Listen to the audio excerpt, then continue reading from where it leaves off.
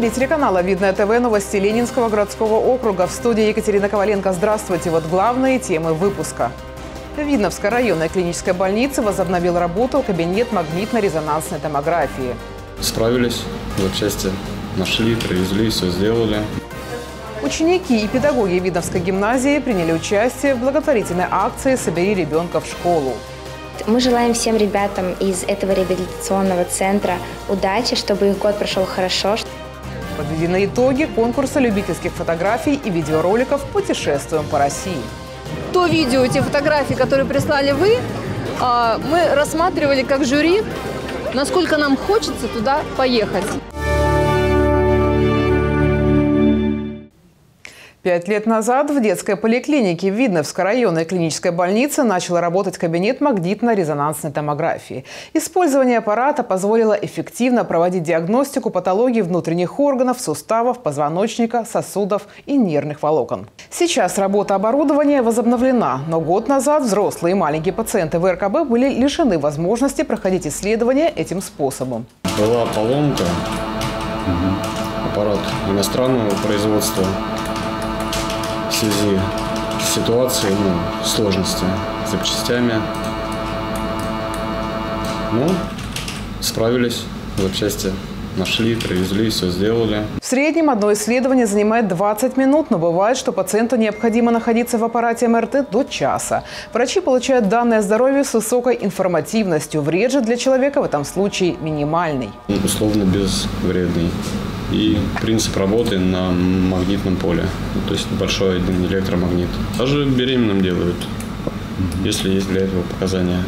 Аппарат рассчитан на проведение более полутора тысяч исследований в год. Сейчас посещение кабинета МРТ доступно для детей. Взрослым эта услуга оказывается на платной основе. Ученики и педагоги Видновской гимназии приняли участие в благотворительной акции «Собери ребенка в школу». Образовательное учреждение уже несколько лет активно помогает детям с ограниченными возможностями здоровья из Центра социального обслуживания «Домодедовский». Ребята из всех классов с удовольствием приносили шариковые ручки, карандаши, линейки, тетради, обложки, краски, альбомы для рисования. В итоге общими усилиями удалось собрать более 50 коробок со всем необходимым для учебы.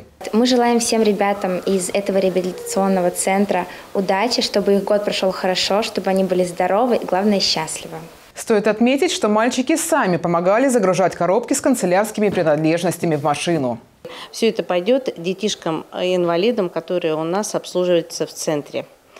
И еще раз хочется сказать огромное спасибо, потому что это действительно такой хороший, вот, э, благое дело, да, которое, ну, ребят назовем даже меценатами. Подарки от гимназистов ребята получат уже в ближайшее время. Несомненно, такая поддержка сверстников раскрасит учебные дни и уроки станут намного интересней.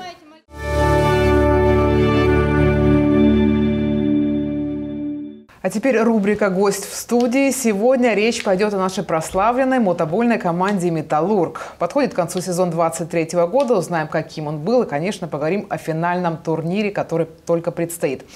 И у нас в гостях президент мотобольного клуба «Металлург» Валерий Нефантьев и капитан команды Иван Криштопа. Здравствуйте. Точно. Здравствуйте. Добрый день. Каким 23 год стал для команды вот, на сегодняшний момент? Ну, знаешь, Катерина, как, как, как, в принципе, как никогда напряженно. Потому что всегда сезон начинает, начинается с розыгрыша Кубка России. Он проходил в этом году в Ипатово, это наш основной соперник. И он сложился для нас вот с точки зрения начала чемпионата очень удачно, потому что мы в финале с Ипатово выиграли у них дома 5-4 выиграли, и потом стали обладателями Кубка России 23 года. А затем начался чемпионат России, и вот он, он продолжается вот до остался последний финальный турнир. Мы прошли, к сожалению, на финише 23 года у нас мы три игры Колосу проиграли. 26-го у дома у себя 4-2 проиграли. 30-го у них тоже 4-2 проиграли. И потом в первом финальном турнире тоже проиграли. Поэтому... Поясним, что Колос – это самый принципиальный соперник, давний. Поэтому сейчас, сейчас такая ситуация сложилась в, в, турнирной, в турнирной таблице, то что мы затем в Кирпильском во втором финальном турнире мы у, выиграли у Колоса, и теперь Вот остался последний в Видном 14, 15, 16. Кто выиграет, тот станет чемпионом России этого года. Иван, в какой форме э, наши спортсмены подходят к этому финальному поединку? Готовы ли? Конечно, готовы, максимально сосредоточены. Будем делать выводы над своими ошибками, которые мы допустили в предыдущих играх, чтобы доказать, что мы не просто так выиграли у них кубок. Ну, Колос, на самом деле, действительно давний ваш соперник. Какой у вас вообще счет по, не знаю, по играм, наверное, какой-то ведется, да? В этом как, сезоне или... Ну, за последнее, может, какое-то время. Нет, они, они дважды, за все время они дважды выигрывали чемпионат России и один, один раз, раз кубок. Один раз кубок России. За, за 10 лет вы говорите? Ну, да, да, за, 10, за последние 10 лет. То есть э, здесь на, на нашей стороне результативность э, по играм между нами на, на стороне Металлурга. Ну, тем более матч еще будет проходить и в Видном дома, и да. родные стены помогают.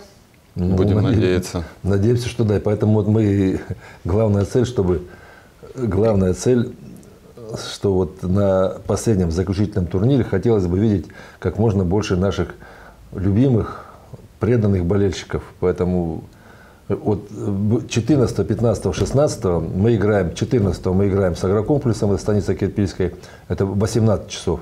Затем у нас перерыв, агрокомплекс играет с Колесом, и 16 числа, в субботу, это в 17 часов, то есть практически заключительные, финальные, получилось так, что мы подошли, Кола сейчас на, на одну очку а, а, опережает, поэтому кто выиграет, за победу дается 2 очка, поэтому кто выиграет, тот будет чемпионом России этого года. Валерий Георгиевич, а как вы оцениваете шансы все-таки на победу? Не, ну, шансы. Шансы, конечно, у команд, в общем-то, я считаю, более-менее более -менее одинаково. Но как вы сказали, что дома и стены помогают. Поэтому, конечно, это хорошо, что все-таки последняя, заключительная игра будет дома. И в присутствии наших уважаемых, любимых зрителей, болельщиков, конечно, я думаю, команда, команда должна, должна победить. Тем более, что ну, напротив, в прошлом году команде было 50 лет, и исторически сложилось так, что мы всегда боролись, Металлург боролся за первое место. И, по-моему, чтобы это не было исключением в 2023 году, хотелось бы, чтобы в последней финальной игре, конечно, подтвердить, что, как Иван правильно сказал, чтобы это была не неожиданность, то, что мы в мае месяце выиграли у Ипатова Кубок России. Просто надо вот в этой 16 числа подтвердить, что действительно Металлург на сегодняшний день это... Лучший? Лучший, как говорят, самый лучший в мире клуб подмосковный Металлург. Э, пожелаем победы ребятам. Обязательно придем э, снимать материал на эту тему. Вашей Спасибо. победе. Спасибо. А я напомню, большое. что у нас в гостях э, были президент мотобольного клуба «Металлург» Валерий Нефантьев и капитан команды Иван Криштопа.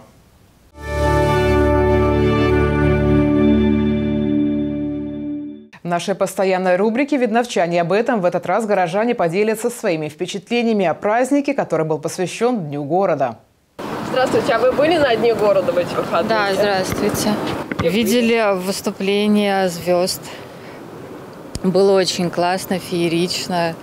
А, насколько я знаю, таких а, мероприятий не было ранее. И я осталась очень довольна, мне очень понравилось. Днем мы были здесь на ярмарке, э, участвовали в э, разных э, конкурсах. А вечером мы ходили на стадион, на концерт. Очень понравилось. Нет, к сожалению, ребят, по телевизору смотрела концерт. День города был очень веселый, прикольный. Там было столько вещей прикольных. Я сделал сестре поделку так на ключи кто-то делал рисунки, из песка рисовал. Желаю любимому городу хорошего настроения жителям. Держать также хорошо в спорте, как держит наша команда «Металлург» города Вида, за который я играл, между прочим, в свое время. И желаю, чтобы жители поняли, что город – это прекрасная вещь, и надо любить и свои города каждым годом город становится все красивее, все прекраснее, просто необыкновенно. Мы не были все лето, просто шикарный город. Я его очень люблю, хотя живу сейчас в Севастополе, а вот внуки очень любят каждое лето. Ну когда? Ну когда мы уже поедем домой? То есть очень любят город. Процветание мира, благополучия всем нашим жителям. Всего-всего самого хорошего. Ты за что любишь наше Видное? Тут очень красиво. Тут школа. Друзей много? Ну да. Родители. А детские площадки какие? Детские площадки тоже необыкновенные. Да я родилась в нем. Как же мне его не любить-то? Все хорошо. Хороший город. Удачи. Дети, чтобы были счастливы. И у всех была работа, и эта работа приносила удовольствие каждой семье. Я желаю городу процветания, жителям здоровья и благополучия. Поздравляю весь город Видного с Днем города. Телеканал «Видное ТВ» подвел итоги конкурса любительских фотографий и видеороликов «Путешествуем по России». Более полусотни работ прислали в наш адрес – Сахалина, Карелия, Сочи и Центральная Россия. Каждый старался запечатлеть в кадре красоту природы и архитектуры, чтобы оставить в памяти и показать другим. Слово Татьяне Брыловой. Объектив телефона для каждого сегодня как лучший помощник. Запечатлеет самые яркие моменты и удивительные места.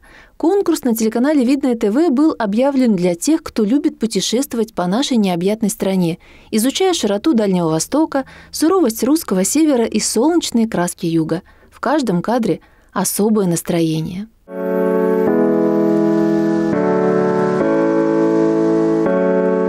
Десятки фотографий и видеороликов прислали участники конкурса «Путешествуем по России». Почти ежедневно на наш адрес приходили новые заявки и работы. Каждая особенная. Поэтому и определить лучшие было непросто. Победители решили наградить на дне города. Наш партнер, торговый дом «Перекресток», подготовил замечательные подарки. То видео, те фотографии, которые прислали вы, а, мы рассматривали как жюри насколько нам хочется туда поехать. Просто отъехать от 20-30 километров от Москвы можно увидеть э, нечто такое. Мы просто порой иногда проезжаем это и не видим. Так что находите даже в своих окрестностях какие-то новые места и новые впечатления. Спасибо большое, а за то, что оценили наши фотографии и за то, что также любите путешествовать по России, как и мы. Будем рады поделиться следующими кадрами. Куда собираетесь? В следующем году? А может в этом? В этом году планируем посетить а, Подмосковье ближнее и также еще Золотое кольцо. А, город Владимир впереди. Елена Солнечная объехала прошлым летом весь Дальний Восток, не выпуская камеры из рук. Теперь ее личный фото и видеоархив пополнился видами Хабаровска, Владивостока, острова Сахалин. На самом деле мы очень мало знаем свою страну. А, и когда мы находимся, как говорится, Питер, э, Якутия или Дальний Восток, да, это совершенно разные миры. И я решила, что надо показать, насколько прекрасен наш Дальний Восток и э, какие, что нужно собираться и ехать не за границу, а именно по нашей стране, потому что она бескрайняя и удивительная. Подольчанка Анна Секирина получила специальный приз от мастера массажа Марины Мустафиной. На самом деле первый раз в жизни вообще что-то выигрываю. Очень приятно, спасибо.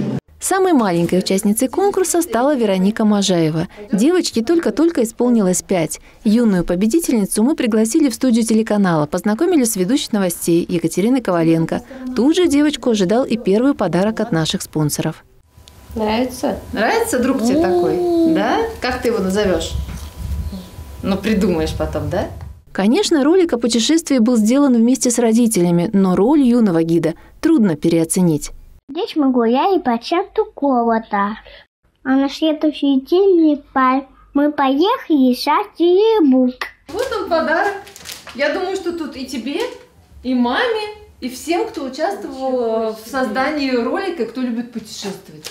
Маме, наверное, да? Потому что тяжелый. Давайте. Пожалуйста. Спасибо. Это наш партнер, торговый дом «Перекресток». Вот такой подарок вам Спасибо большое. Вообще любим во всем участвовать, и в газету отсылаем, и на телеканал, и вообще очень активные жители. И активные путешественники. Это да, и активные путешественники. Где в этом году были? В этом году были в Санкт-Петербурге, ездили на дачу к бабушке, в деревню ездили, а, посетили Нижний Новгород и Тверь, и еще много разных городов, и Золотое кольцо посетили. Призы розданы, победители довольны. А мы еще раз призываем – путешествуйте по России и делитесь своими впечатлениями. Татьяна Брылова, Максим Козлов, Александр Логинов, Сергей Ларин, Ольга Садовская. Видное ТВ. И это все новости на сегодня. С вами была Екатерина Коваленко. До новых встреч!